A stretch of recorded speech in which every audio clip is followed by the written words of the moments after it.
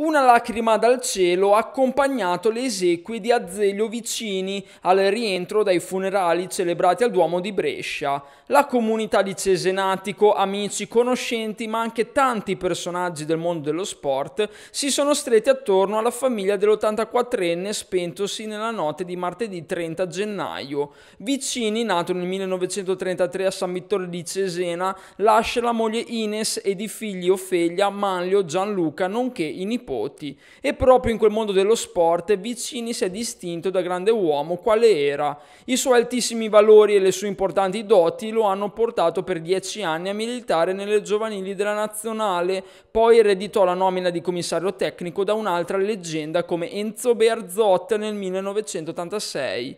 La prima impresa fu scritta dopo due anni agli europei dell'88, la cavalcata si fermò in semifinale, poi a Italia 90 conquistò con suo rammarico una medaglia di bronzo che è stata la sua più grande impresa incompiuta. Contro l'Argentina furono fatali i rigori al San Paolo in cui era di casa un certo Diego Armando Maradona. Lasciata la panchina azzurra ad un altro romagnolo come Arrigo Sacchi, ci fu anche la parentesi all'allora stadio di Nomanuzzi in cui riuscì a portare alla salvezza il Cesena nel 1993 invischiato nella zona rossa della Serie B. A dare l'ultimo saluto da Zelio Vicini una delegazione del Cavalluccio composta da Lorenzo Lelli, Gabriele Marco Valentini, Rino Foschi, ma anche Lorenzo Minotti e Salvatore Bagni. Al termine delle celebrazioni religiose presso la chiesa di San Giacomo, la salma è stata tumulata presso la cappella di famiglia situata al cimitero di Cesenatico.